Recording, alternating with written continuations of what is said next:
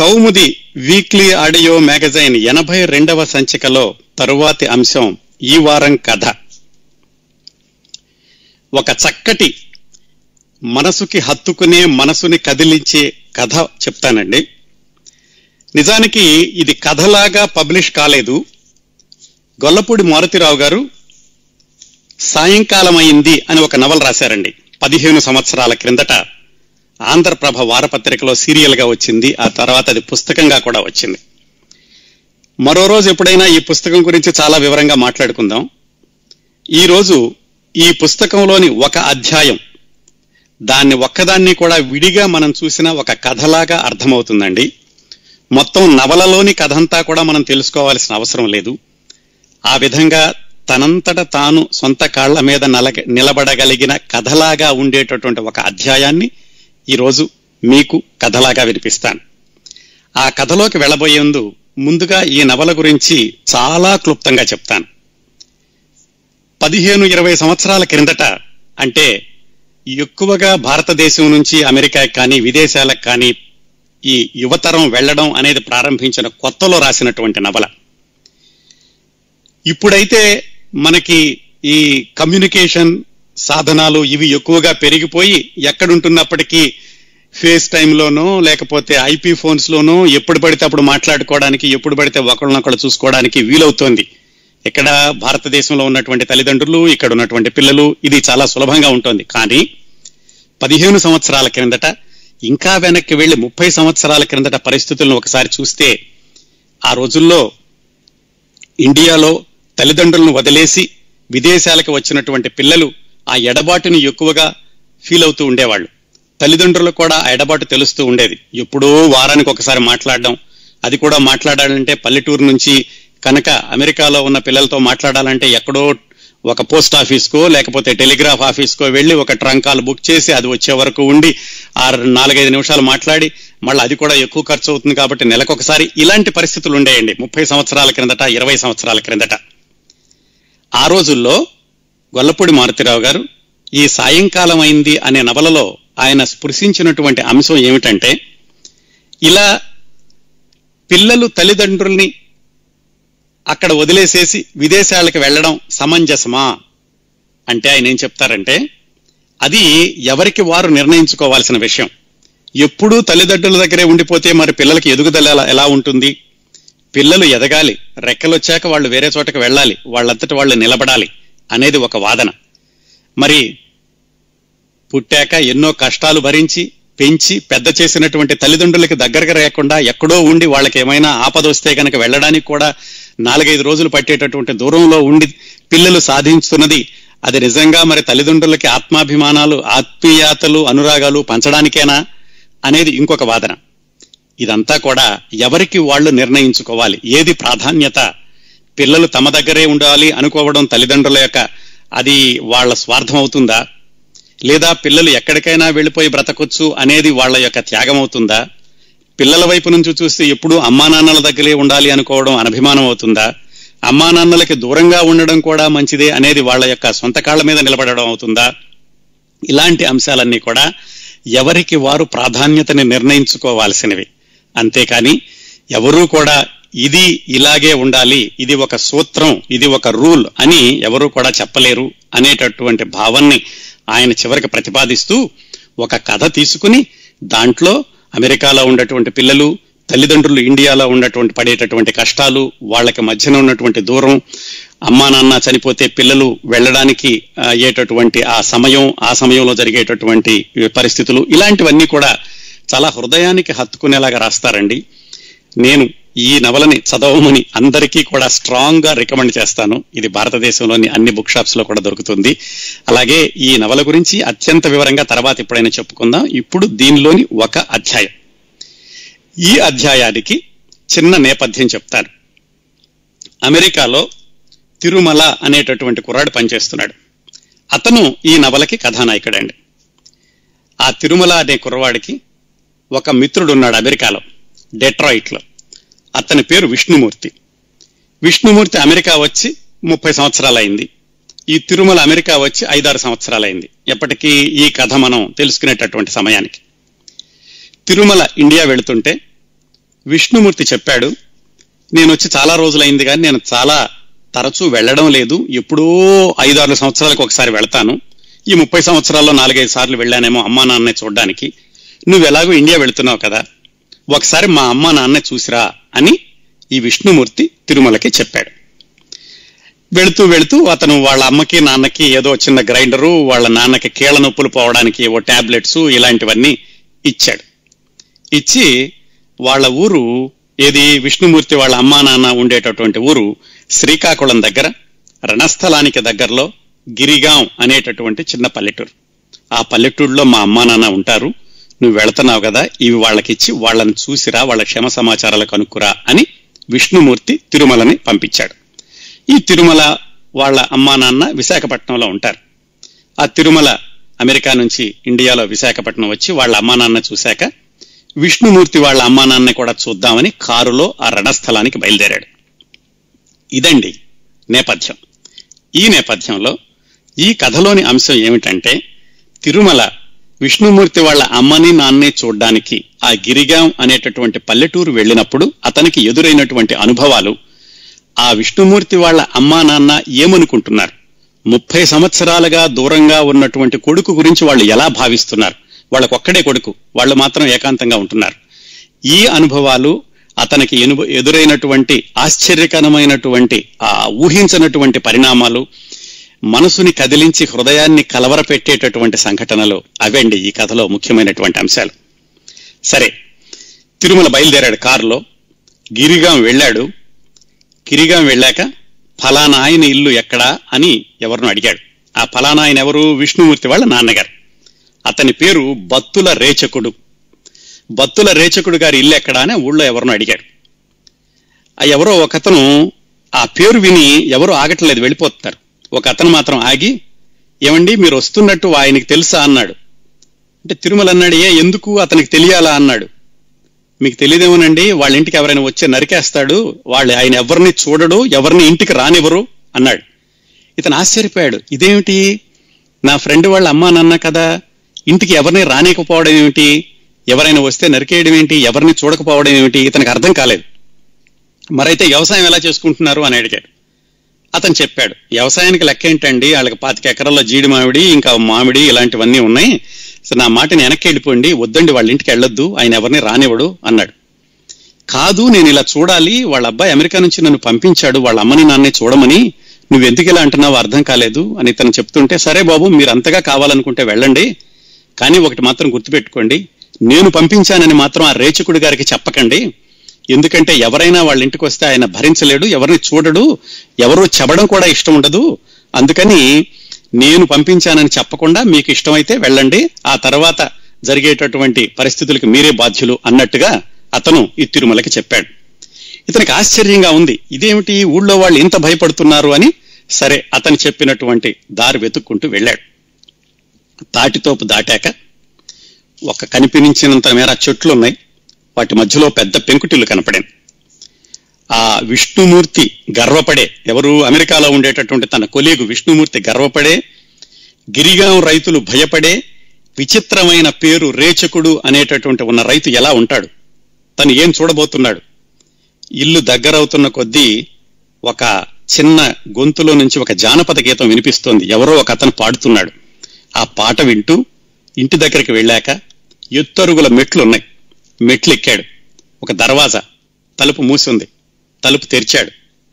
ఎదురుగా ఒక విశాలమైన మడత కుర్చీలో ఆ రేచకుడు అన్నతను కనిపించాడు. అతన్ని చూస్తూ తిరుమల శిలాప్రతిమలా నిలబడిపోయాడు. ఈయన నవలలో ఒక అధ్యాయాన్ని ఇక్కడ ఆపేశారండి. ఆ మరుసటి వారం వరకు పాఠకులు ఎదురు చూస్తూ ఉండేవాళ్ళు. ఏమైంది? ఎందుకు ఇలా ఆశ్చర్యపోయాడు? తలుపు తెరవగానే ఆ విష్ణుమూర్తి వాళ్ళ నాన్నగారు కనపడగానే తిరుమల ఎందుకు అలాగా శిలాప్రతిమల అయిపోయాడు అని మళ్ళా వారం వరకు వేచి చూ చూడాల్సి ఉండేది. ఇప్పుడు అసలు కథ మొదలవుతుంది. గొల్లపూడి మారుతిరావు గారు గొప్ప రచయిత అని నేను మళ్ళా చెప్పాల్సిన అవసరం లేదు. ఆయన దాదాపుగా ఎనభై తొంభై సినిమాలకి స్క్రీన్ ప్లే రాశారు కథలు రాశారు మాటలు రాశారు. ఇప్పుడు నేను చెప్పబోయేటటువంటి అసలు కథ ఇంతవరకు చెప్పింది మీకు ఉపోద్ఘాతం. ఏది? తిరుమల ఆ తన మిత్రుడి విష్ణుమూర్తి యొక్క తండ్రిని చూడడానికి గిరిగాం వెళ్ళడం తలుపు తెరవగానే వాళ్ళ తండ్రిని ఆ రేచకుడు అనేటటువంటి విచిత్రమైన పేరున్న తండ్రిని చూడగానే ఇతను ఆశ్చర్యపోవడం. ఇంతవరకు ఉపోద్ఘాతం. ఇప్పుడు అసలు కథ అండి. ఈ కథని కథంతా నేను చదివేశాను కాబట్టి మామూలుగా ఒక వరసలో చెబితే అదొక విధంగా ఉంటుంది. కానీ దాంట్లో అంత సస్పెన్స్ ఉండదు అంత పట్టు ఉండదు. మారుతిరావు గారు మరి బ్రహ్మాండమైన స్క్రీన్ ప్లే రైటర్ కదా. అందుకని ఈ కథని ఆయన చాలా అద్భుతంగా కొంచెం కొంచెం కొంచెం కొంచెం చెబుతూ ఎక్కడెక్కడ మనకి సస్పెన్స్ ఉంచాలో అక్కడ సస్పెన్స్ ఉంచుతూ కొంచెం కొంచెం రివీల్ చేస్తూ చిట్ట చివరికి ఆయన క్లైమాక్స్కి తీసుకెళ్తారండి. ఇదంతా కలిసి కేవలం ఐదారు పేజీలు మాత్రమే ఉంటుంది. మనం కూడా అదే క్లైమాక్స్లో అలాంటి సస్పెన్స్ తోటే తెలుసుకుంటూ వెళదాం. అంతా చదివేశాం కాబట్టి ముందు నుంచి మొత్తం ఒక సీక్వెన్స్లో చెప్పుకోవడం కాకుండా ఆయన రాసిన వరుస ప్రకారంలోనే తెలుసుకుంటూ వెళదాం. తలుపు తెరిచాడు తిరుమల. ఎదురుగుండా కుర్చీలో కాళ్ళు బార చాపుకుని కూర్చుని ఉన్నాడు ఆ రేచుకుడు అనే అతను. కాళ్ళు అన్న మాట తప్పు కాలు అని అండాలి. ఎందుకంటే ఓ కాలు మోకాలి వరకు లేదు అనే విషయం స్పష్టంగా తెలుస్తోంది. నోట్లో చుట్ట వెలుగుతోంది. తలుపు తెరుచుకోవడం చూసి ఆ రేచుకుడు అతను తుళ్ళిపడ్డాడు. ఎదురుగుండా చూస్తే ఎవరో గుండుతోటి ఒక సూట్ వేసుకుని అమెరికా నుంచి వచ్చినట్టుగా కనపడ్డాడు. ఒక్కసారి బిగ్గరగా అరిచాడు రేచకుడు. ఎవడరా అని ఒక బూత్ మాట అన్నాడు. ఎవడరా ఈయన నా ఇంటికి తీసుకొచ్చింది అని ఎదురుగుండా వచ్చిన అతను చూస్తూ గర్జించాడు. నేనే దారి వెతుక్కుంటూ వచ్చానండి అన్నాడు ఈ తిరుమల. చాలా సేపటి దాకా అతను కోపం తమాయించుకోలేకపోయాడు. ఇక్కడే మనకి అంటే చదివే వాళ్ళకి విపరీతమైన సస్పెన్స్. ఇదేమిటి? వాళ్ళ అబ్బాయి అమెరికా నుంచి మా అమ్మ నాన్న చూసిరా అని పంపిస్తే ఈ రేచకుడికి ఎందుకంత కోపం వచ్చింది? ఎవడరా ఇతను నా దగ్గర తీసుకొచ్చింది అన్నాడు అతనికి తెలుసు ఇతను అమెరికా నుంచి వచ్చాడని. అక్కడ మనకు విపరీతమైనటువంటి ఉత్కంఠ పెరుగుతుంది. ఏం జరుగుతోంది? ఏం జరుగుతోంది? ఎందుకు ఇలా అవుతోందని. ఎందుకు ఇలా అయిందంటే ఆ కోపం తమాయించుకున్నాక పసిపిల్లలాగా అయిపోయాడు రేచకుడు. అయిపోయి నెమ్మదిగా నీకు మా బుల్లిబాబు తెలుసా? అని అడిగాడు. అని ఆ వెదురు కర్ర ఒకటి చంక కింద ఊతంగా పెట్టుకుని ఎందుకంటే ఒక కాలు లేదు కదా గెంతుతూ లేస్తూ ఆ వచ్చినటువంటి అబ్బాయిని కుర్చీలో కూర్చోమని ఆ తిరుమలకి సపోటా పళ్ళు ఉంచాడు. అప్పుడు తన కొడుకు గురించి అడగడం మొదలుపెట్టాడు రేచకుడు. ఆడెలా ఉన్నాడు బాబు? పెద్ద ఉద్యోగం చేస్తున్నాడా? ఆడెలా ఉంటాడో కాస్త చెప్పు బాబు. నీలాగా సూటేస్తాడా? నీలాగా నల్ల కళ్ళద్దాలు పెడతాడా? ఆడి కారు ఏ రంగులో ఉంటుంది? నా కొడుకు సేవ ముందు తాగుతాడా? ఇలాగా ఇవన్నీ అడుగుతున్నాడు. ఇక్కడ రచయిత ఒక వాక్యం రాస్తారు. ప్రతి ప్రశ్న వెనక ఆసక్తే కానీ ఆర్తి లేదు. ఉత్సాహమే కానీ ఉద్విగ్నత లేదు. సాధారణంగా అలా అడిగినప్పుడు విపరీతమైనటువంటి ఉద్విగ్నతతో ఉండాలి. నా కొడుకు ఎప్పుడో ఐదు సంవత్సరాలైంది ఇండియా ఇండియా వచ్చి ముప్పై ఏళ్ళ క్రితం వెళ్ళిపోయాడు అనేటటువంటి ఆ ఉద్రిక్త ఉద్విగ్నత కనపడటం లేదు ఆ తండ్రి కంఠంలో. ఉత్సాహం కనిపిస్తోంది. తిరుమల అన్నీ చెప్పాడు. అన్నీ చెప్పాక బాబు ఆడి ఫోటో నీ దగ్గర ఉందా అని అడిగాడు రేచకుడు. ఆ విష్ణుమూర్తి అమెరికా నుంచి వచ్చేటప్పుడు తిరుమలకి ఇచ్చాడు ఒక ఫోటో. ఇదిగోండి మీ అబ్బాయి ఫోటో. ఇటీవల నయాగర దగ్గరికి వెళ్ళినప్పుడు మీ అబ్బాయి మీ కోడలు పిల్లలు కలిపి తీయించుకున్నారు అని ఫోటో చూపించాడు రేచకుడికి. ఆ ఫోటో చూడగానే రేచకుడు ఆ ఒక్కాలు లేనటువంటి రేచకుడు ఈడు ఈడి పెద్దాడు కదా ఈడి పేరు రే. అదేంటి? సింగిల్ అక్షరం అన్నాను బుల్లోడితో. అది నీ పేరే అన్నాడు. నా పేరు రేచకుడు కదా దాంట్లో రే అన్న పేరు వాడి కొడుకు పెట్టుకున్నాడు. ఆడు నన్ను ఫోన్లో ఇంగ్లీష్లో తాత అంటాడు. రెండో వాడు వాడి పేరేంటి అని అవన్నీ గుర్తు చేసుకున్నాడు వాళ్ళ మనవాళ్ళ పేరు. తిరుమల అడిగాడు ఇవన్నీ మీకు ఎలా తెలుసండి? వాళ్ళని ఎప్పుడైనా చూసారా అని. అంటే రేచకుడు చెప్పాడు అమ్మో అంత పన? నేను వాళ్ళని ఎప్పుడు చూడలేదు. మా బుల్లెబ్బాయి ఉత్తరాలు రాస్తాడు. బుల్లెబ్బాయి అంటే వాళ్ళ అబ్బాయి ఆ విష్ణుమూర్తి. నేనేమో ఆ పోస్ట్ మాస్టర్ చేత చదివించుకుంటూ ఉంటాను. అప్పుడప్పుడు ఫోన్లో మాట్లాడినప్పుడు మా మనవడు ఫోన్లో వందే మాత్రం పాడతాడు అని ఆనందంగా తిరుమలతోటి తన మనవల్ని చూడనటువంటి మనవల్ల గురించినటువంటి జ్ఞాపకాలను తిరుమలతో చెప్పుకోవడం ప్రారంభించాడు. తిరుమల అనుకున్నాడు బిడ్డల్ని చూడాలని బెంగ పెట్టుకునే తల్లిదండ్రులు తెలుసు కానీ ఇదేంటి ఈయన? ఈయన ఆలోచనల్లో నుంచి ఆనందాన్ని జురుకుంటున్నాడు అని తిరుమల ఆశ్చర్యపోతున్నాడు. ఏమిటి అసలు ఈ తండ్రి విషయం? ఎందుకు ఇలా విచిత్రంగా ఉన్నాడు? అని. అతను అడిగాడు ఏమండి మీకు కాలు లేదు అన్న విషయం మీ అబ్బాయి నాకు ఎప్పుడు చెప్పలేదు? మీ అబ్బాయికి తెలుసా? మీకు కాలు లేదని? అన్నాడు. అంటే రేచకుడు అన్నాడు నా కాలు లేకపోతే ఆడికి ఏమైంది బాబు? గిరిగాం రైతుకి కాలుంటేనేం పోతేనేం? నా కొడుకు దొర పెద్ద ఉద్యోగం చేస్తున్నాడు. అది చాలు నాకు అన్నాడు. అసలు కాలు ఎలా పోయిందండి? అని అడిగాడు తిరుమల. తండ్రికి కాలు పోయింది అన్న విషయం విష్ణుమూర్తి ఎప్పుడు చెప్పలేదు. తిరుమలకి ఆశ్చర్యంగా ఉంది. కొడుక్కి తెలియకుండా తండ్రికి కాలు పోయింది అన్న సంఘటన ఎలా జరిగింది అని అసలు ఎలా పోయిందండి కాలు అని రేచుకుని అడిగాడు. ఎలా పోవడం ఏంటి బాబు? నా ఒళ్ళంతా సక్కరే. తీపి తినక్కర్లేదు. ఒంటి నిండా షుగరే ఉంది. చిన్నప్పటి నుంచి నేను ఇమాం పసంద్ మామిడి పండు అంటే చాలా ఇష్టం. ఆ బయట చూడు. కనపడే ఐదు ఎకరాల్లోనూ ఆ మామిడి తోపు నాదే. ఆరు వేల పళ్ళు దించుతాను సంవత్సరానికి. ఎండలు ముదిరి తొలకర దాకా ఎంత లేదన్నా రెండు వందల పళ్ళు తింటాను. నీ ఎవ పోతే దొరబెడ్లాగా పోవాలి కానీ ఏడుస్తూ బతికితే ఏం లాభం? ఆ డాక్టర్ పద్మనాభయ్య చెప్పాడు నాకు ఒరే రేసు కూడా నువ్వు తినకరా తింటే చచ్చిపోతావు మామిడి పళ్ళు అని. కానీ నేనన్నాను తింటే చచ్చిపోతే గనక తినే సత్తాను అని చెప్పి ఆ మామిడి పళ్ళు తిన్నానండి. అందుకని ఇదిగో ఒక కాలు తీయాల్సి వచ్చింది నాకు షుగర్ మూలానా అని చెప్పాడు. మరి మీ అబ్బాయికి చెప్పారా ఎప్పుడైనా అని తిరుమల అడిగాడు. అంటే ఇతను చెప్పాడు తెలిస్తే ఆడేం చేస్తాడు బాబు అంత దూరాన ఉన్నాడు. వాడికి నేనేమో అన్నీ తెలిసిన మూర్ఖుణ్ణి ఇప్పుడు ఒక్క పండు కూడా తినలేను అన్నాడు. అదేంటి? ఇంతకాలం తిన్నారు కదా ఇప్పుడు తినలేకపోవడం ఏమిటి? అని తిరుమల అడిగాడు రేచకుడు చెప్పబోయాడు చెప్పబోయి మళ్ళా వేరే సంభాషణకి వెళ్ళాడు. ఇక్కడ కథలో ఒక అద్భుతమైన మలుపు ఉందండి రచయిత చెప్పరు. ఏంటి? అతను మామిడి పళ్ళు అంతగా తినడం వల్ల షుగర్ రావడం వల్ల కాలు తీసేశారు ఇప్పుడు ఒక్క పండు కూడా తినడం లేదన్నాడు.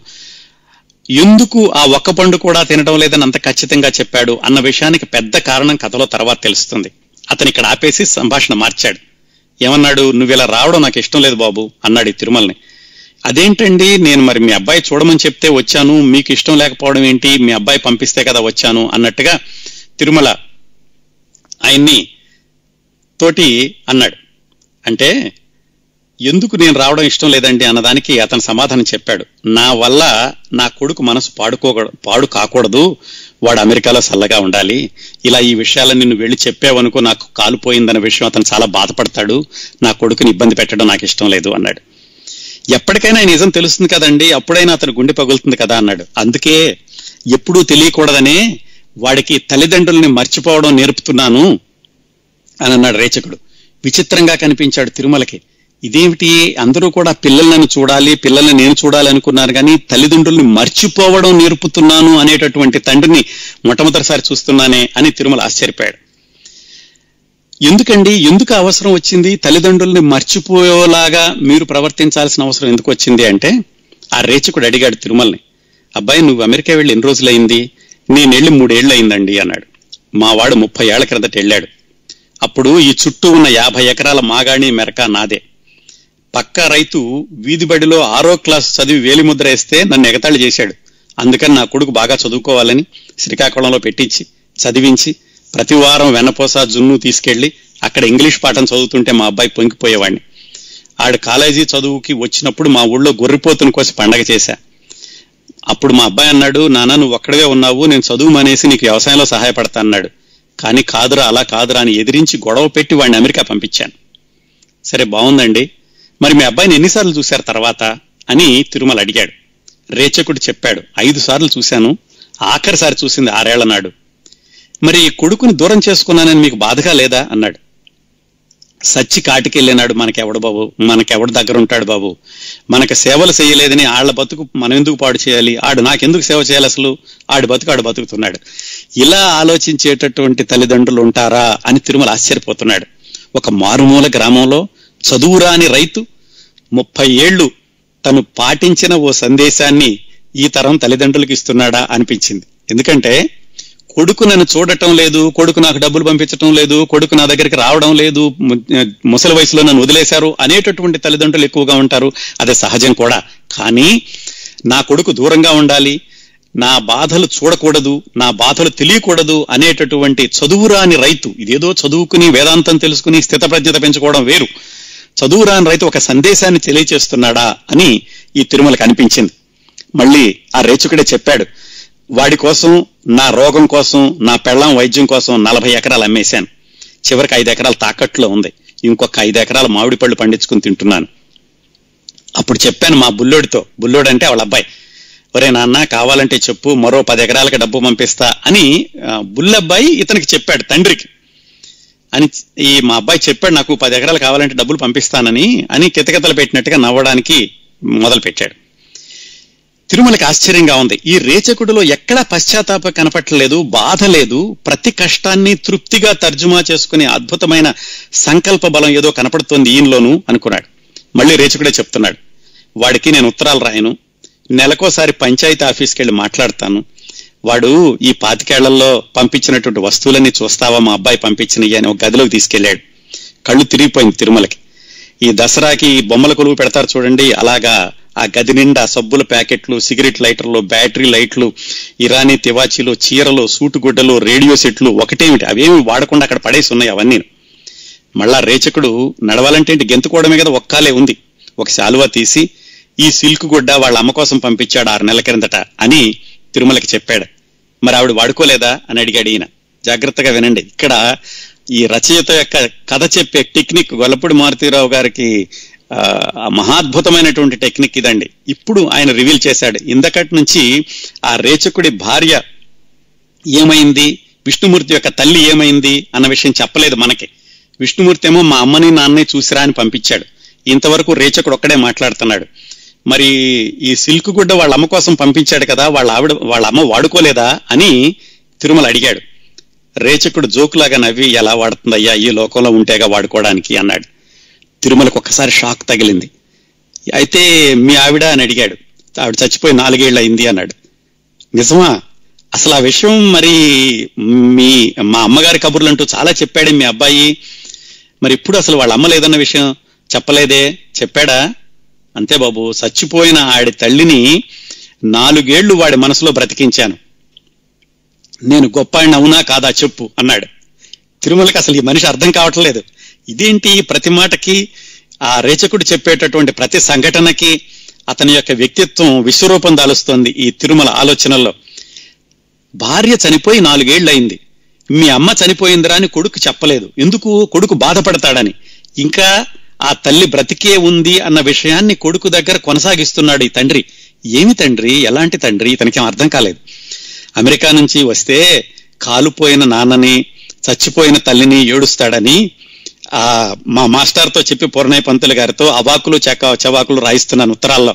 ఆ ఉత్తరాల్లో నేను ఐదు సార్లు కాశీకి వెళ్ళాను. మా ఆవిడ నేను కలిసి ఇంకెక్కడికో వెళ్ళాం. ఇవన్నీ ఉత్తరాల్లో రాయించాడనమాట ఎవరు ఈ రేచకుడు అన్న అతను కొడుక్కి. కొడుక్కి ఈ విషయం తెలియకూడదు అతను బాధపడకూడదు అనేటటువంటి ఉద్దేశంతో దొంగ ఉత్తరాలు రాయించాడు తండ్రి. అసలు మీ ఆవిడ ఎలా పోయిందండి? అని అడిగాడు తిరుమల. అది కొడుకు కోసం దిగులు పెట్టుకుంది. జాతరకి అక్కడిక్కడికి తీసుకెళ్ళాను. దాని కళ్ళల్లో పువ్వులేసినాయి అంటే కళ్ళు కనిపించడం తగ్గిపోయింది. నా దగ్గర కళ్ళు పూయి కళ్ళలో పువ్వులు వచ్చినాయి అన్న విషయాన్ని దాచిపెడుతూ చెయ్యి కాల్చుకునేది వండి పెడుతూ వంట చేస్తూ. ఓసారి నాతో పాటు తోటకొచ్చింది. తోటకొచ్చి దిగుడు బావిలో పడిపోయింది.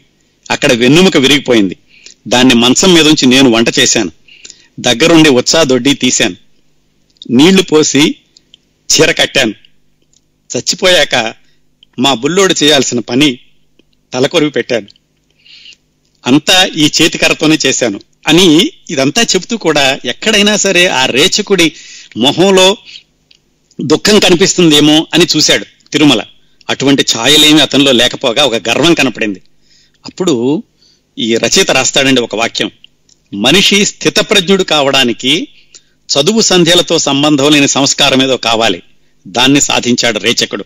స్థితప్రజ్ఞత అంటే దుఃఖాన్ని సుఖాన్ని ఒకేలాగా తీసుకునేటటువంటి మనస్తత్వాన్ని పెంపొందించుకోవడం. అది పెంపొందించుకోవాలంటే ఏమంటారు? ఎన్నో తెలియాలి వేదాంతాలు తెలియాలి ఎన్నో ఆలోచనలు ఉండాలి ఆలోచనలను సక్రమంగా పెంచుకోవాలి ఆలోచనలు క్రమ పద్ధతిలో పెట్టుకోవాలి అప్పుడు స్థితప్రజ్ఞత వస్తుంది అంటారు. కానీ తిరుమలకి రేచకుడిలో ఒక స్థితప్రజ్ఞుడు కనిపించి చదువు సంధ్యలతో సంబంధం లేని సంస్కారం ఏదో ఉండాలి స్థితప్రజ్ఞత రావడానికి అని అనిపించింది. ఇక్కడ జరిగేది మా అబ్బాయిని బాధ పెట్టకూడదు వాడి సుఖాన్ని పాడు చేయకూడదు అందుకనే వాళ్ళమ్మ బతికున్నట్టుగా దొంగ ఉత్తరాలు రాయిస్తున్నాను అని చెప్పాడు.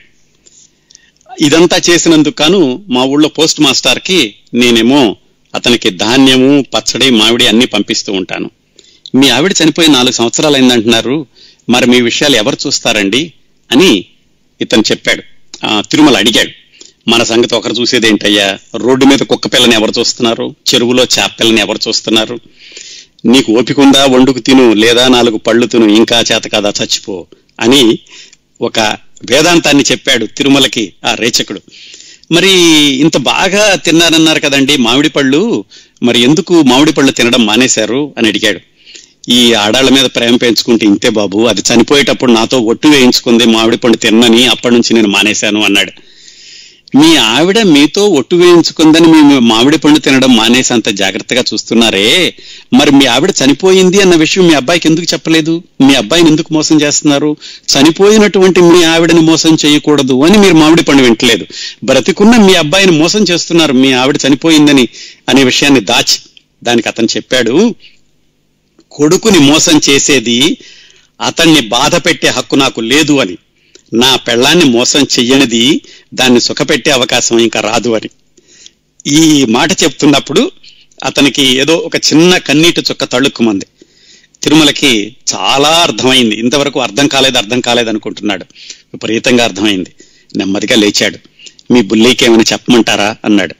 అంటే అతను వచ్చి ఆ, రావడం అంటే గెంతుతూ రావడమే. గెంతుతూ వచ్చి ఇక్కడ విన్నది చూసింది ఏమీ చెప్పమాకు కొన్ని జాతి కుక్కల్లో తల్లి కుక్క పిల్ల పుట్టగానే దాన్ని తినేస్తుంది. ఎందుకంటే ఆ ప్రేమ నుంచి ఆ పిల్ల కుక్క ఎక్కడ దూరం అయిపోతుందనే భయం చేత. నా భయానికి నా కొడుకు పీక కొరియకుండా ఇన్నాళ్ళు కొరి కొర- కొరకకుండా ఇన్నాళ్ళు జాగ్రత్త పడుతున్నాను. రెక్కలు వచ్చాక పిల్ల గూడులో నుంచి ఎగిరిపోకపోతే తల్లి తప్పు. గూడులో నుంచి పిల్లని ఎగిరిపొమ్మనడానికి తల్లి ప్రయత్నించాలి. అదే తప్పు పిల్లది పిల్లది కాదు తల్లిది అవుతుంది ఎగిరిపోకపోతే ప్రపంచకాన్ని అలవాటు చేసి గూడులో నుంచి తొయ్యాలి. ఆ పనే నేను చేస్తున్నాను అన్నాడు రేచకుడు. ఇతనికి ఈ సంఘటనలన్నీ చూసి రేచకుడు యొక్క భావాలు వినేసరికి ఆ తిరుమలకి అతనిలో ఒక విశ్వరూపం కనిపించింది. నెమ్మదిగా లేచి అతని కాళ్ళకి నమస్కారం చేయాలంటే ఏం చేయాలి? ఒకటే కాలు ఉంటుంది. ఆ ఒక్కాలకి నమస్కారం చేశాడు. నెమ్మదిగా అతను వెనక్కి గెంతాడు. బొద్దుబాబు తప్పు. నువ్వు బాగా చదువుకున్నాడివి. నేను చదువుకోని వాడిని. నాకు నమస్కారం చెయ్యొద్దు అని చెప్పాడు. అని చెప్పాక తిరుమల ఇంక వెళుతూ వెళుతూ సరేనండి నేను వెళ్ళొస్తాను. మీరు అన్నట్టుగానే మీరు అన్న విషయాలేమి మీ అబ్బాయికి నేను చెప్పను అని వెనక్కి బయలుదేరుతుంటే ఆ రేచకుడు ఇతని తిరుమల ఒంటి మీద ఉన్న కోటును చూసి ఈ కోటు ఎంత అవుతుంది బాబు? అన్నాడు. మూడు వేలు అయిందండి అన్నాడు. అతని జేబులో నుంచి డబ్బులు తీసి ఇదిగో ఈ మూడు వేలు పెట్టి ఇంకో కోటు కొనుక్కుని మా బుల్లాడికి తీసుకెళ్ళు అన్నాడు. అంతేనండి. అక్కడ ఈ అధ్యాయం అయిపోయింది. నిజానికి మొత్తం కథలో ఈ అధ్యాయం ఒక కథలాగా ఉంటుంది. తర్వాత రేచకుడి పాత్ర రాదు. మిగతా కథలోకి వెళ్ళదు. తిరుమల పాత్ర కొనసాగుతూ ఉంటుంది. ఈ ఒక్క అధ్యాయం మాత్రం దీని అంతటికి దీనికి ఒక కథలాగా ఇండిపెండెంట్గా నిలుస్తుంది అనమాట అందుకని దీన్ని కథలాగా చెప్పాను. ఏమిటి చెప్పారు ఈ మొత్తం కథలో అంటే ఒక తండ్రి కొడుకు సుఖంగా ఉండాలి దూరంగా ఉన్నా కానీ అతనికి తన బాధలు తెలియకూడదని తల్లి చనిపోయినటువంటి విషయాన్ని కూడా దాచిపెట్టి నాలుగు సంవత్సరాలుగా ఈ విషయాలు ఏమి చెప్పొద్దు అన్నాడు తనకి చూడడానికి వచ్చినటువంటి అబ్బాయితోటి ముప్పై సంవత్సరాల్లో కేవలం ఐదారు సార్లు మాత్రమే వచ్చినప్పటికీ కొడుకు మీద అతనికి ఏమాత్రం ద్వేషం లేదు సరికదా? ఇంకా ప్రేమ ఎక్కువగా ఉంది. అలాంటి తల్లిదండ్రులు ఉంటారా అలాంటి స్థితప్రజ్ఞత ఉన్నటువంటి తండ్రులు ఉంటారా అలాంటి భావన ఉండాలంటే ఒక మనిషికి ఎంత స్థితప్రజ్ఞత కావాలి? చదువు అవసరం లేదు. ఆలోచనలు వ్యక్తిత్వం ఉంటే చాలు అనేటటువంటి విషయాలు ఈ కథలో చెప్తారండి. విపరీతమైనటువంటి స్క్రీన్ ప్లే లాగా ఉంటుంది. చదివిన తర్వాత ఒక్కసారైనా రెండు సార్లైనా మనసు చెలించకుండా ఉండదండి. మొత్తం ఈ కథలో ముగించబోయే ముందు ఒకసారి మళ్ళీ మళ్ళీ ఆలోచించాల్సినటువంటి వాక్యాలు గొల్లపూడి మారుతీరావు గారి పరిణితికి సాక్ష్యం అనిపించేటటువంటి వాక్యాలు చెప్తాను. మొట్టమొదటిసారిగా ఈ తిరుమల వచ్చినప్పుడు మళ్ళీ ఒకసారి రివైండ్ చేస్తున్నానండి కథలోని సన్నివేశాలని. ఇతను ఆ ఎందుకు మీ అబ్బాయి మీద కోపం రాదంటే నాకెందుకు కోపం రావాలి బాబు? అన్నాడు కదా. అప్పుడు రచయిత రాసినటువంటి మాటలు ఈ మారుమూర గ్రామంలో చదువురాని రైతు ముప్పై ఏళ్ళుగా తను పాటించిన ఒక సందేశాన్ని ఈ తరం తల్లిదండ్రులకి ఇస్తున్నాడు. ఎందుకు? పిల్లల యొక్క సుఖాలకి మేమెందుకు అడ్డు రావాలి? అనేటటువంటి తాను పాటించిన సందేశాన్ని ఈ తరం తల్లిదండ్రులకి ఇస్తున్నాడా? అనిపించింది. అదొక వాక్యం. రెండో చోట ఇంకేం రాస్తారంటే అతనికి ఎన్నో కష్టాలు వచ్చినాయి రేచకుడికి కానీ అతను కష్టపడుతున్నట్టు ఎక్కడా కనపడలేదు. చాలా హుషారుగానే చెప్తున్నాడు విషయాలన్నీ. దాటిని దానిని అన్వయిస్తూ ప్రతి కష్టాన్ని తృప్తిగా తర్జుమా చేసుకునే అద్భుతమైన సంకల్ప బలం ఏదో ఉంది. జాగ్రత్తగా వినండి. కష్టాన్ని తృప్తిగా తర్జు తర్జుమా చేసుకోవాలంటే ఒక సంకల్ప బలం కావాలి. వాటిని అర్థం చేసుకుని అన్వయించుకునేటటువంటి ఒక విభిన్నమైన దృక్పథం కావాలి. అది ఈ రేచకుడిలో ఉంది. తర్వాత తర్వాత ఇంకో చోట ఆయన రాసింది. మనిషి స్థితప్రజ్ఞుడు కావడానికి చదువు సంధ్యలతో సంబంధం లేని సంస్కారం కావాలి. దాన్ని సాధించాడు రేచకుడు. స్థితప్రజ్ఞత కావాలంటే చదువు సంధ్యలు కాదు ఒక సంస్కారం ఉండాలి. ఆ సంస్కారం ఉన్నప్పుడు కష్టాన్ని సుఖాన్ని ఒకే విధంగా తీసుకునేటటువంటి మానసిక స్థితి స్థితప్రజ్ఞత అలవాటు పడుతుంది. తర్వాత తిరుమల అడిగాడు ఏమండి మరి మీ అబ్బాయినేమో మోసం చేస్తున్నారు మీ అమ్మాయి మీ అమ్మ అమ్మ చనిపోయిందని చెప్పకుండా మీ ఆవిడకి ఇచ్చిన మాట ప్రకారం మీరు మామిడి పండు తింటలేదు అన్నదానికి ఆయన చెప్పిన అద్భుతమైన వాక్యం అండి. కొడుకుని మోసం చేసేది వాణ్ణి బాధ పెట్టే హక్కు నాకు లేదు అని. నా పెళ్ళాన్ని నేను మోసం చెయ్యనిది దాన్ని సుఖపెట్టే అవకాశం లేదని ఎందుకంటే ఆవిడ చనిపోయింది కాబట్టి. అందుకని ఇది చేశాను అని తర్కాన్ని చెప్పాడు. అలాగే చిట్ట చివరిలో ఆ రేచకుడు చెప్పినటువంటి వాక్యం పిల్ల గూడులో నుంచి ఎగిరిపోకపోతే తప్పు తల్లిది పిల్లది కాదు. ప్రపంచాన్ని అలవాటు చేసి గూడులో నుంచి తోసేయాలి. నేను కూడా అదే పని చేశాను. ఇవ్వండి అద్భుతమైన వాక్యాలు. ఈ అధ్యాయం చదివాక మళ్ళీ మళ్ళీ వెనక్కి తిరిగి ఆలోచించి అనుభూతించగాల్సిన అనుభూతించాలి అనిపించేటువంటి వాక్యాలు ఇవన్నీ. ఇదండి ఈ వారం కథ. ఈ కథకి పేరంటూ ఏమీ లేదు. ఎందుకంటే ఇది సాయంకాలం అయ్యింది అనేటటువంటి నవల ఒక అధ్యాయం కాబట్టి మనం పేరు పెట్టుకోవాలంటే రేచకుడు అని పేరు పెట్టుకోవచ్చు. విచిత్రమైన పేరు విచిత్రమైన మనిషి విచిత్రమైనటువంటి మనస్తత్వం. ఈ మళ్ళీ ఒకసారి మనం గుర్తుపెట్టుకోవాల్సింది పదిహేను సంవత్సరాల క్రిందట వచ్చినట్టు నవల కాబట్టి అప్పట్లో ఇప్పట్లాగా ఫోన్లు అవి ఎక్కువగా లేవు కాబట్టి ఆ దృష్టితో చూస్తూ ఒక అద్భుతమైనటువంటి తండ్రి కొడుకుని ప్రేమించినటువంటి విధానం అదండి ఈ కథలో మన మనసుల్ని కదిలించేటటువంటి సన్నివేశాలు. నమస్కారం అండి శుభోదయం. సారీ అండి అదే మీరు ఇంకొక చాప్టర్కి వెళ్ళే ముందు I think this is up to me to call ఏమో అనిపించింది. ఎందుకంటే ఎంతో ఎమో ఎంతో ఎమోషన్స్తో కూడిన చక్కని కథ మీ అద్భుతమైన గొంతుతో నా తెలుగు క్షమించాలి. ఆ, మీరంత చక్కగా గొల్లపూడి గారు రాసిన దాన్ని ఎంతో ఈ శనివారం ఉదయం ప్రశాంతంగా వింటుంటే అద్భుతమైన ఎమోషన్స్ నిజంగా మనందరూ ఇక్కడ మేము కూడా శానోజేలే ఉంటాను ఆ, చాలా ఎమోషన్స్ అద్భుతమైన కథలు మాతో షేర్ చేసినందుకు ధన్యవాదాలు. థ్యాంక్ యూ అండి. మీ పేరు సార్? నా పేరు మధు మధు కిరణ్ సత్తెనపల్లి మధు కిరణ్ గారు good thank you very much అండి. మీ మీ యొక్క ప్రశంసలకి బహు ధన్యవాదాలు. అవునండి. అంటే అంటే మీరు ఈ విధంగా అసలు కళాసేవ అనొచ్చు అండ్ ఆల్సో నిజంగా బ్యాక్ మన ఇండియాలో ఉన్న మన పేరెంట్స్ గురించి కానీ ఈ ఎమోషన్స్ నిజంగా మీరు అన్నట్టు ఇప్పుడు టెక్నాలజీ వచ్చింది కాబట్టి కొంత at least they are able to see the face ఇంక ఇప్పుడు వీ హ్యావ్ ఇంకో లెవెల్ ఆఫ్ ప్రాబ్లమ్స్ ఏవో ఉంటాయి కానీ బట్ ఆ ప్రేమలు ఆ భావాలు అవి అవి అలానే ఉన్నాయి. ఇట్స్ క్రైసిస్ ఇన్ ఇండియా గురించి అంటే మొన్న మా లాస్ట్ త్రీ ఇయర్స్ మనం ఇప్పుడు ఎవ్రీ టూ ఇయర్స్కి ఒకసారి వెళ్తూ ఉంటాను నేను. ఇంకా ఫ్లైట్ ఉంది కాబట్టి ఏమైనా లేకపోతే one year one and half year అనుకోండి యావరేజ్ ఎందుకంటే నాకు లాస్ట్ త్రీ వీక్స్ నుంచి మా నాన్నగారు కూడా ఇవే కొంచెం వైదాంతం మాట్లాడటం I think he's preparing our kids be ready ఇలాంటి అవుతాయి ఎలా అని. మీ కథలో ఉన్నట్టు ఉన్నారండి. మాకు అందుకే ఈ కథ వింటుంటే మా నాన్నగారి మాటలే గుర్తొచ్చాయి. "ఏయ్, అరే మేము ఎల్లకాలం ఉందాం రా మేము పెద్దవాళ్ళు అవుతున్నాం. ఎలా నువ్వు అది నువ్వు అది అన్నిటికీ అది- ఐ థింక్ మన హైందవ సంస్కృతి ఎంతో గ్రేసియస్గా డిటాచ్మెంట్ కూడా అద్భుతంగా అదే అనిపించింది. మనం వినడానికి కొంచెం కష్టం అనిపించినా ఇదేంటి నాన్నగారు? పొద్దున్నే ఇది ఐదింటికి లేచి ఇద్దరు Hmm. కాఫీ తాగుతున్నప్పుడు అమ్మ వాళ్ళు ఇంకా Hmm. కలుపుకునే ఉన్నారు. నాకు జెట్ లాగ్తో పొద్దున్న లేచిపోతాం కదా ఇండియా వెళ్ళిన కొత్తలో. అదే ఇదే ఇదే మాటలు అదే. స్థితప్రజ్ఞత కొంచెం బీ రెడీ ఇలాంటివి ఉన్నా విన్నా నువ్వు కంగారు పడకూడదు. నీకంటూ ఒక ఫ్యామిలీ ఉంది వాళ్ళు అన్ని చూసుకోవాలి. అదే అదే ఏంటా అనుకుంటూ నాకు డైజెస్ట్ అర్థం కావడానికే ఎంతో టైం పట్టింది. ఐ రియలైజ్ మీ కథ వింటూ ఉంటే మన పేరెంట్స్ చాలా వరకు ఐడియల్లీ దే వాంట్ అందరూ పేరెంట్స్ ఉంటుంది. మనకి స్వార్థం ఉంటుంది. మాకు ఉంటుంది. ఏంటి వచ్చి సాధించింది ఏంటి? ఏదో లుక్ బ్యాక్ సో అదే. అంటే నా మెసేజ్ ఒకటే మీకు ఇష్టమైన వాళ్ళు మీకు కుటుంబంలో ఇంపార్టెంట్ వాళ్ళని ట్రీట్ వెల్ గౌరవంగా మాట్లాడటము. You are able to do that at least your best మీకు ఆ- మీ అవును. ప్రేమ ఉన్న వాళ్ళని మీ మీద ప్రేమ చూపెట్టే వాళ్ళకి కాల్ చేసి మాట్లాడటం అదొక. అదృష్టం. ఉన్నారు అంటే. ఆ తర్వాత ఇంకా అంతే అంతే. బాగా చెప్పారండి. థ్యాంక్ యూ థ్యాంక్స్ అండి thank you thank you Kaumudi weekly audio magazine ఎనభై రెండవ సంచికలో తరువాతి అంశం ఈ వారం వ్యక్తి. రెండు వందల యాభై సంవత్సరాల క్రిందట భారతదేశంలో అత్యద్భుతమైనటువంటి కార్యక్రమాలు నిర్వహించిన ఒక బ్రిటిష్ జాతీయుని గురించి తెలుసుకుందామండి. బ్రిటిష్ వాళ్ళు మనల్ని మూడు వందలేళ్ళు పాడి పాలించారు భారతదేశాన్ని సర్వనాశనం చేశారు అలాగే కొన్ని మంచి పనులు చేశారు ఇదంతా చరిత్ర.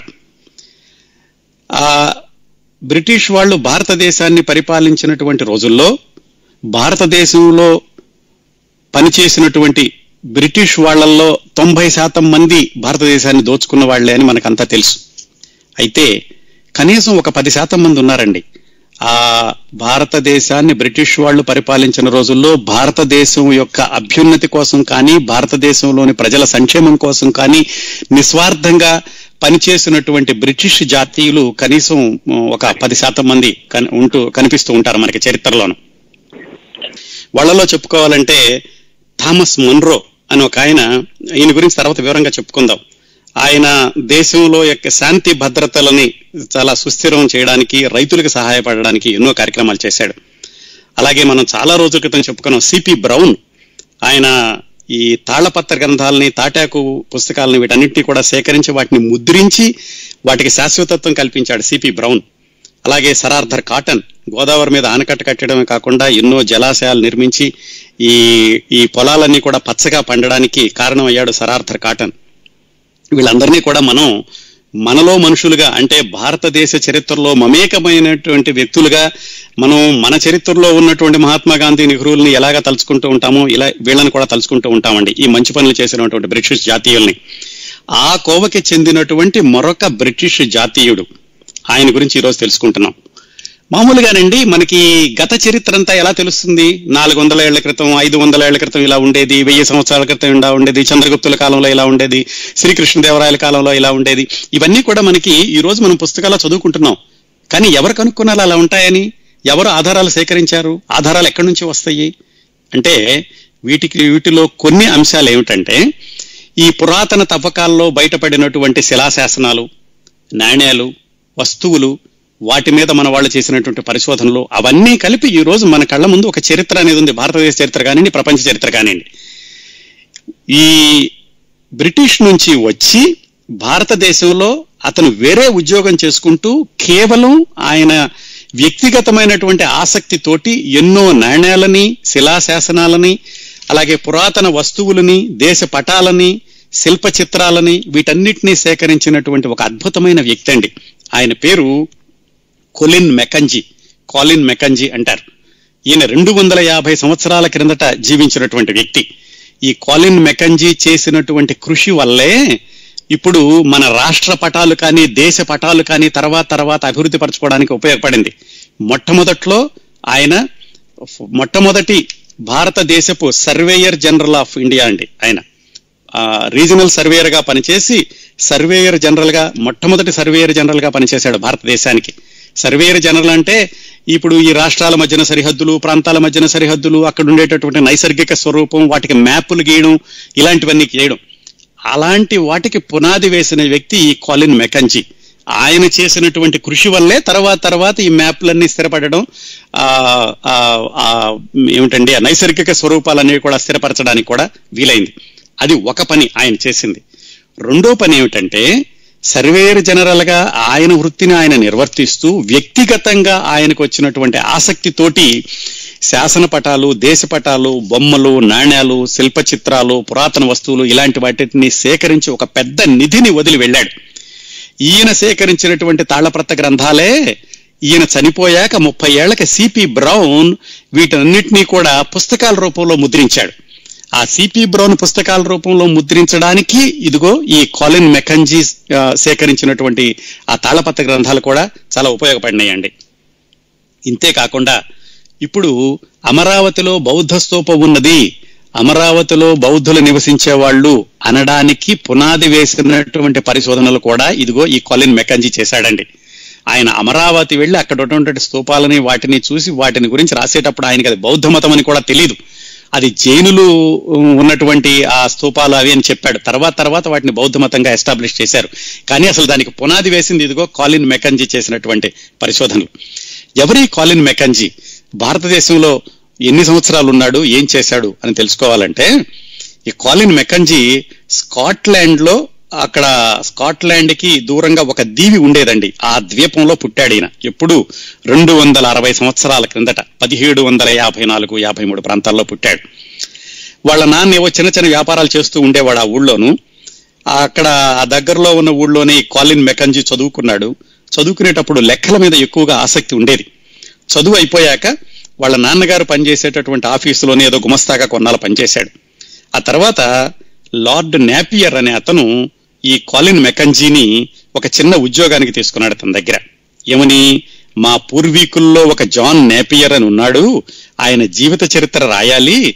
ఈ జాన్ నేపియర్ ఎవరంటే మనకి లాగర్దెమ్ బుక్స్ ఉంటాయి చూడండి. నేపియర్ లాగర్దెమ్స్ అంటాం. ఆ లాగర్దెమ్స్ కనిపెట్టినటువంటి స్కాటిష్ గణిత శాస్త్రవేత్త. ఇప్పుడు పదహారు పదహారు వందల సంవత్సరంలో ఆయన యొక్క జీవిత చరిత్ర రాయాలి బాబు. నువ్వు నాకు సహాయం చేద్దు కానీ నీకు జీతం ఇస్తాను రా అని లార్డ్ నాపియర్ అనే అతను ఈ మనం చెప్పుకున్నటువంటి కాలిన్ మెకంజీ ఇంకా కుర్రవాడిగా ఉన్నప్పుడు తన దగ్గర ఉద్యోగానికి తీసుకున్నాడు. తీసుకుని ఆ జాన్ నేపియర్ యొక్క జీవిత చరిత్ర పరిశోధన ఆ పనికి పెట్టాడు. అతను ఆ పని చేస్తూ ఉండగానే మధ్యలో ఈ లార్డ్ నాపియర్ చనిపోయాడు. ఇంకా సరే అతను చనిపోయాక మరి పరిశోధన ఎలా కొనసాగుతుంది? దాన్ని అక్కడ ఆపేసేసి ఎవరో చేసినటువంటి సిఫారసు తోటి ఈ బ్రిటిష్ సైన్యంలో చేరాడు. చేరి బ్రిటిష్ సైన్యం అంటే అప్పట్లో బ్రిటిష్ ఆక్రమిత దేశాలన్నింటిలో కూడా వెళ్ళేది కదా. ఆ విధంగా భారతదేశానికి పదిహేడు వందల ఎనభై రెండులో అంటే దాదాపుగా నూట ముప్పై సంవత్సరాల క్రిందట తనకి ముప్పై సంవత్సరాల వయసులో వచ్చాడండి. చాలా విశేషం ఏమిటంటే తన ముప్పై సంవత్సరాల వయసులో భారతదేశం వచ్చిన ఈ కాలిన్ మెకంజీ మళ్ళా తిరిగి విదేశాలకు వెళ్ళలేదు. మళ్ళా స్వదేశానికి వెళ్ళలేదు. నలభై సంవత్సరాల పాటు ఆయన జీవించినన్ని రోజులు భారతదేశంలోనే ఉన్నాడు. అప్పుడు ఏం చేశాడంటే భారతదేశం రాగానే అతనికి ఇంజనీరింగ్ శాఖలో ఏదో ఉద్యోగం వచ్చింది. మధురలో ఇతను తన ఊళ్ళో ఉండగా ఆ లార్డ్ నాపియర్ దగ్గర పనిచేశాడు కదా ఏదో జీవిత చరిత్ర రాయడానికి వాళ్ళ అమ్మాయి మధురలో ఉంటుంది. అందుకని మధుర వెళ్ళి ఆ తను పనిచేసినటువంటి లార్డ్ నాపియర్ వాళ్ళ అమ్మాయి అల్లుడి దగ్గర కొంతకాలం ఉన్నాడు. తాను అక్కడ వదిలేసి వచ్చినటువంటి పరిశోధన ఇక్కడ కొనసాగిద్దాము అని ఆ లెక్కలు గణిత శాస్త్రం వాటి గురించినటువంటి విశేషాలు సేకరించేటటువంటి క్రమంలో అతనికి భారతదేశంలో గణిత శాస్త్రంలో జరిగినటువంటి విశేషాల మీద ఆసక్తి ఏర్పడింది. అంతేకాకుండా అవి వెతికే క్రమంలో ఈయనకి ఈ భారతదేశ హిస్టరీ గురించి చాలా ఆసక్తి పెరిగింది. ఆ విషయాలన్నీ కూడా సేకరించడం మొదలుపెట్టాడు. ఇంకా ఈ కాలిన్ మెకంజీ ఏం చేశాడంటే పదిహేడు వందల ఎనభై నాలుగు తొంభై ఆ ఆ ఆరు సంవత్సరాల్లో ఆయన్ని ఆ నెల్లూరు ఆ రాయలసీమ ఆ చుట్టుపక్కల ఉన్నటువంటి మ్యాప్లన్నింటినీ కూడా చేయండి అనేటటువంటి కార్యక్రమాన్ని అప్పగించారు.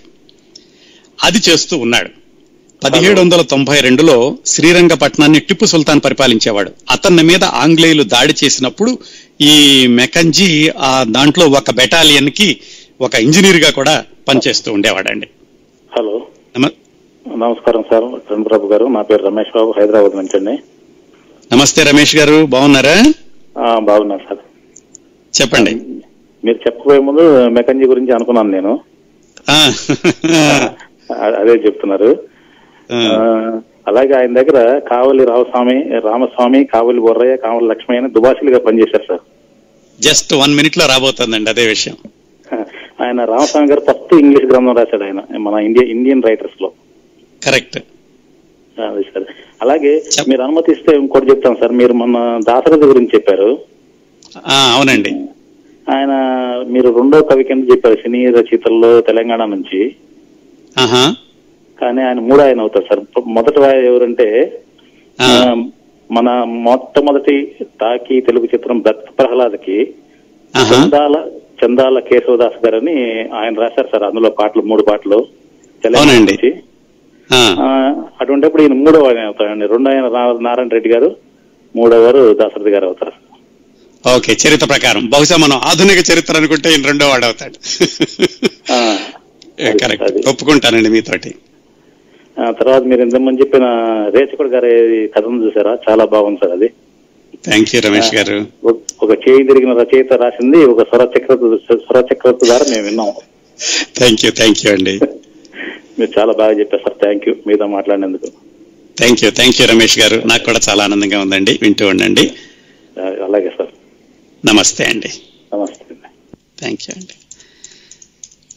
ఈయన ఈ మెకంజీ ఆ మ్యాపులు తయారు చేసేటటువంటి కార్యక్రమాన్ని ఇవ్వడమే కాకుండా శ్రీరంగపట్నం మీద బ్రిటిష్ వాళ్ళు దాడి చేసినప్పుడు ఆ ఒక కంపెనీకి ఇంజనీర్గా ఆ సైన్యంలో ఇంజనీర్గా పనిచేశాడు.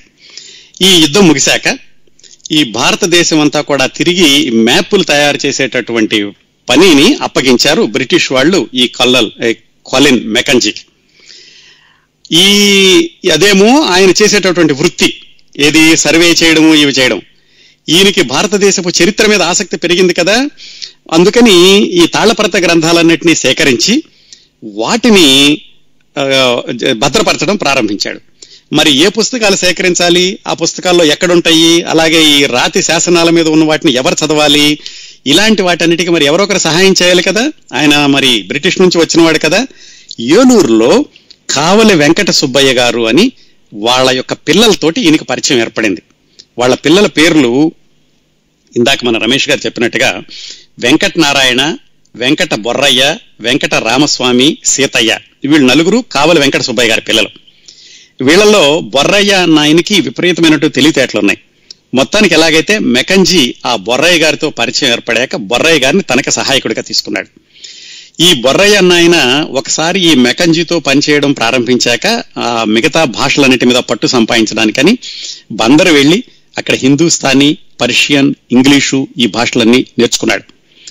ఆ తర్వాత ఈ బొర్రయ్య గారే జైనుల వృత్తాంతం మొఘలుల తర్వాత కర్ణాటకలో జరిగినటువంటి సంఘటనలు వీటన్నిటిని కూడా ఆయన అనువదించాడు అనుకోండి. ఆయన ఈ భాషణల్ని నేర్చుకుని నేర్చుకునే క్రమంలోనే ఈ మెకంజీకి సహాయం చేయడం ప్రారంభించాడు. ఎలాగా?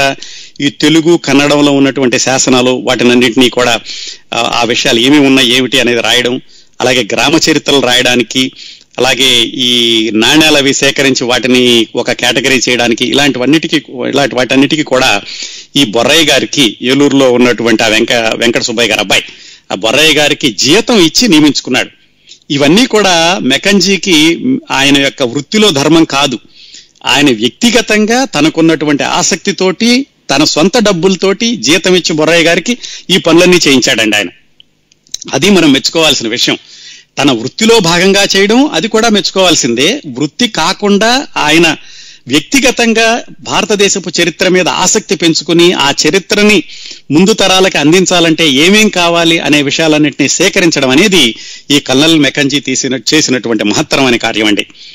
ఈ చాలా విచిత్రమైన ఐ మీన్ విచిత్రమైన విషయం ఏమిటంటేనండి ఈ బొర్రయ్య గారు ఈయనకి సహాయం చేస్తూ కాలిన్ మెకంజీకి ఇరవై ఏడు సంవత్సరాల వయసులోనే చనిపోయాడు దురదృష్టవశాత్తు.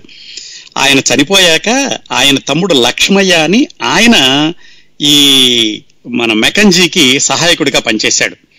ఇంకో చాలా మనం మెచ్చుకోదగిన విషయం ఏమిటంటేనండి కల్లల్ మెకంజీ చనిపోయాక చాలా సంవత్సరాల తర్వాత ఇంకా మిగతా విషయాలు తెలుసుకుందాం. చనిపోయాక ఆయన ఆస్తిలో ఐదు శాతం ఈ లక్ష్మయ్య గారికి ఇచ్చాడండి. బొర్రయ్య గారి తమ్ముడికి తనకు సహాయకుడిగా పనిచేసినందుకు కాను.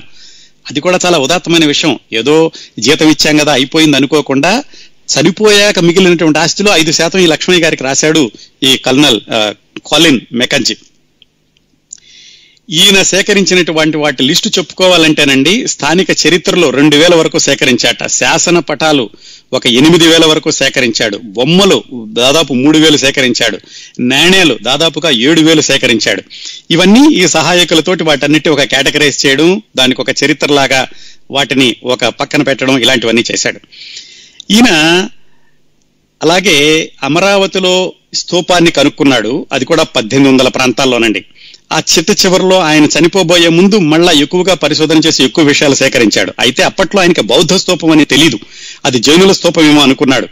అక్కడ దొరికినటువంటి కొన్ని శిల్పాలు నాణ్యాలు ఇలాంటి వాటినన్నింటినీ కూడా ఇంగ్లాండ్ పంపించడానికని ఆయన అప్పట్లో ఇంగ్లాండ్ వెళ్ళాలంటే నౌక ద్వారా వెళ్ళాలి. దగ్గరలో ఉన్నది మన మచిలీపట్నం. బందర్ పంపించాడు. బందర్లో అప్పుడు సబ్ కలెక్టర్ ఉండేవాడండి రాబర్ట్సన్ అని. ఇప్పటికి కూడా బందర్లో రాబర్ట్సన్ పేట అని ఒక ప్రదేశం ఉంది. ఆ రాబర్ట్స్ అనేటటువంటి సబ్ కలెక్టర్ గారు వీటిని ఇంగ్లాండ్ పంపించేటటువంటి క్రమంలో ఏం చేశాడంటే కొన్నిటిని ఇంగ్లాండ్ పంపించకుండా మద్రాసు పంపించాడు. అందుకని ఇప్పటికి కూడా ఈ కాలిన్ మెకంజీ సేకరించినటువంటి ఈ విశేషాలని కొన్ని పోయినాయి. మిగతావి మద్రాసులో కొన్ని అలాగే బ్రిటిష్ లైబ్రరీలో కొన్ని ఇప్పటికి కూడా ఉన్నాయటండి. వీటి మీద పరిశోధనలు చేసి తర్వాత వాళ్ళు కొన్ని కొన్ని ఆ, సత్యాలను వాటన్నిటిని కూడా వాళ్ళు వాటిలో డెడ్యూస్ చేయడం అంటారు. వాటన్నిటిని కూడా వాళ్ళు సేకరించి తర్వాత భారతదేశపు చరిత్ర కానివ్వండి అలాగే ప్రాంతీయ చరిత్రలు కానీ ఇవన్నీ రాయడం కూడా సంభవించింది అనమాట దాటన్నిటికీ మూలం ఇదిగో మన కల్లల మెకంజీ ఆ బొర్రయ్య గారితోటి లక్ష్మయ్య గారి సహాయకులుగా ఆయన చేసినటువంటి కృషి. సొంత డబ్బులు ఆ రోజుల్లోనే పదిహేను వేల రూపాయలు ఖర్చు పెట్టాడంటే పదిహేను రూపాయలు అంటే మరి ఇప్పట్లో ఎన్ని కోట్లు అవుతుందో లెక్క పెట్టుకోండి. ఆయన ఆయన పద్దెనిమిది వందల ఇరవై ఒకటిలో కలకత్తాలో చనిపోయాడు. విశేషం ఇందాక చెప్పింది మళ్ళీ చెప్తున్నాను. ఏమిటంటే ఆయన ఒకసారి భారతదేశం వచ్చాక మళ్ళీ ఇంగ్లాండ్ వెళ్ళలేదు. ఈ సిపి బ్రౌన్ అన్న ఆయన మళ్ళీ చివరిలో ఇంగ్లాండ్ వెళ్ళిపోయి అక్కడ చనిపోయాడు. మిగతా వాళ్ళు కూడా భారతదేశంలో చాలా సేవ చేసిన వాళ్ళు కూడా ఇంగ్లాండ్ వెళ్ళారు కానీ ఈ కల్ కాలిన్ మెకంజీ మాత్రం ఆయన ఇంగ్లాండ్కి తిరిగి వెళ్ళలేదు. భారతదేశంలోనే ఉండి పద్దెనిమిది వందల ఇరవై ఒకటిలో దాదాపుగా ఆయనకి డెబ్బై సంవత్సరాల వయసులో భారతదేశంలోనే మరణించాడు. మరణించాక ఆయన దగ్గరున్న వస్తువులన్నింటినీ కూడా కలకత్తాలో ఆ గవర్నమెంట్ వాళ్ళు వార్న్ హేస్టింగ్స్ అని ఉండేవాడు ఆయన ఈస్ట్ ఇండియా కంపెనీ. ఆ కంపెనీ తరఫున కొందాం అనుకున్నప్పుడు ఈ కల్నల్ కాలిన్ మెకంజీ గారి భార్య దాని విలువ పదిహేను వేల రూపాయలు ఇరవై వేల రూపాయలు అన్నారు. కానీ చరిత్ర పరిశోధకులు దాని అంతటిని లెక్కేసి ఇది లక్ష రూపాయలు అవుతుందని చెప్పారు. ఎప్పుడండి ఇది పద్దెనిమిది వందల ఇరవై రెండు వందల సంవత్సరాల క్రిందట లక్ష రూపాయలు అంటే ఇప్పుడు ఎన్ని వందల కోట్లు లెక్క వేయండి. అంత విలువైన విషయాలని సేకరించి వెళ్ళాడు ఈ కాలిన్ మెకంజీ. తర్వాత ప్రభుత్వం తీసుకుంది. వాటిని కొన్ని కొన్ని మ్యూజియంస్లో వాటిలో పెట్టారనుకోండి. ఈ కాలిన్ మెకంజీ పద్దెనిమిది వందల ఇరవై ఒకటిలో చనిపోయాక లక్ష్మయ్య గారు ఆ పరిశోధనలు కొంతకాలం కొనసాగించారండి. ఆయన కొంతకాలం కొనసాగించారు. ఆయనకి ఈయన ఇచ్చినటువంటి ఐదు శాతం ఆ ఆస్తిలోని వాటిని ఖర్చు పెట్టి ఆ గారు కూడా కొంతకాలం ఈ పరిశోధనలు కొనసాగించారు.